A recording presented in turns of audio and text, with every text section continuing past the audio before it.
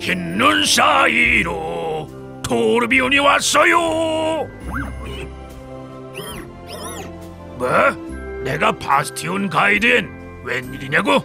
그걸 몰라서 물어? 네가 말을 할 수 없으니까 누가 설명을 해줘야 할 거 아니야? 어딜 삐삐거리고 있어? 나도 나불거리는 깡통이랑 일하는 건 질색이야.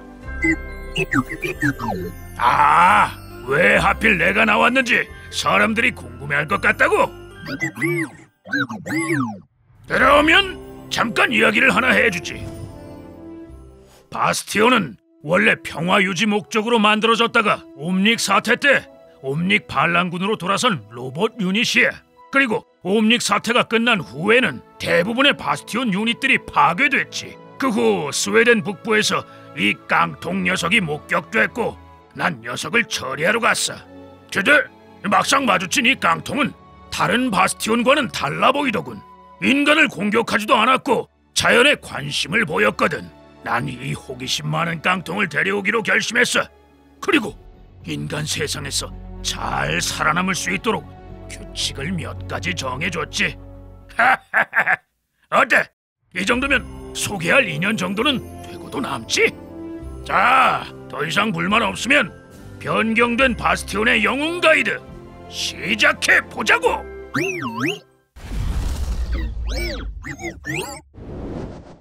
바스티온은 수색과 강습 두 가지의 무기 설정을 가지고 있어. 설정은 재설정 기술을 통해 전환할 수 있지. 설정 수색에서의 기본 발사는 기관 단총을 발사하는 공격이야. 탄 퍼짐이 없어서 비교적 맞히기 쉬워 보이는구만. 중장거리 적을 견제하기에 좋겠어. 설정 강습에서의 기본 발사는 기관포를 발사하는 공격이야. 지속 시간과 재사용 대기 시간이 있어 무한정 사용할 수는 없지만 대신 지속 시간 동안에 탄약을 무한대로 쓸 수 있구만. 또 이 무기 설정일 때에는 느린 속도로 움직이게 되지.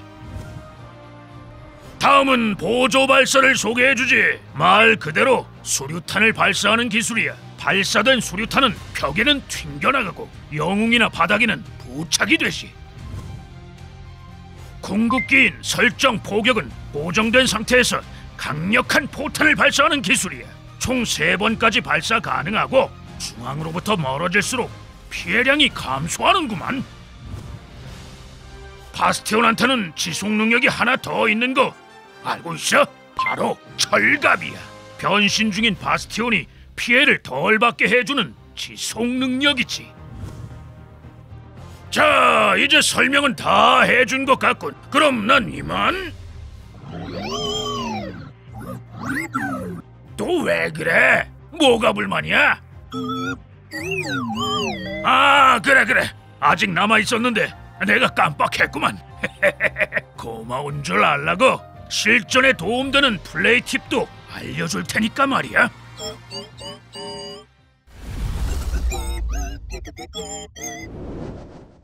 변경되기 전 바스티온한테는 강습이 아닌 경계 모드가 있었지. 경계 모드에서는 이동할 수 없었기 때문에 방벽이나 heal 등의 지원을 많이 받아야 했어. 그리고 지속적으로 경계 모드를 풀고 자리를 옮겨야 했는데 자리를 한번 잘못 잡기라도 하면 deal loss가 심하게 발생하곤 했지. 반면 변경 후에는 더 유동적으로 deal각을 만들 수 있게 됐어. 강습 모드에서는 이동도 가능하고 전술 수류탄 같은 공격 기술도 생겼기 때문이야. 바스티온을 플레이할 때는 일단 수색 모드의 기본 발사로 중장거리 견제를 하게 될 거야. 그러다가 적이 먼저 진입하면 전술 수류탄으로 밀쳐낸 뒤에 강습 모드로 전환해 봐. 강습 모드로 전환하고 나서는 철갑의 효과로 적의 공격을 버팀과 동시에 강한 화력을 퍼부어 상대방을 처치하거나 몰아내면 될 거야. 반대로 아군이 먼저 들어가면 바로 강습 모드로 전환해 화력을 지원할 수 있어. 하지만 너무 일찍 전환하는 건 좋지 않아. 이동 속도가 느려져서 아군을 못 쫓아갈 수도 있으니까 말이야. 기본 포지션에 대해서도 알려주지. 전체적으로는 다른 공격 영웅들처럼 후방에 자리 잡는 게 좋아. 강습 모드로 변경했을 땐 적과의 거리 조절이 원활하고 엄폐물을 활용할 수 있는 위치를 유지하는 게 좋을 거야. 아군의 지원을 받을 수 있는 위치라면 더욱 좋지. 강습 모드의 이동 속도가 느려서 위험한 상황이 발생할 수 있거든. 다음으로 수생 모드 팁을 알려주지. 수생 모드의 기본 발사는 탄퍼짐이 없어서 중장거리의 대상을 비교적 쉽게 맞출 수 있어.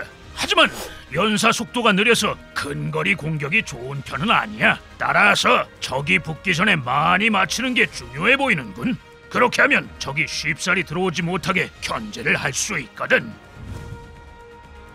다음은 강습 모드 팁이야. 강습 모드의 기본 발사는 원거리보다 근거리에서의 위력이 강해. 그래서 되도록 가까운 적을 노리는 게 좋아. 만약 공격 영웅이나 지원 영웅처럼 체력 낮은 영웅이 근처에 있다면 당연히 그쪽을 노리는 게 좋지. 하지만 그런 영웅들이 근처에 없다면 우선 돌격 영웅을 노려도 좋을 거야. 강습 모드의 화력은 방벽이 있는 영웅한테도 충분히 압박이 되거든. 그리고 전환 타이밍을 볼 때는 적이 있는 위치도 고려하는 게 좋을 거야.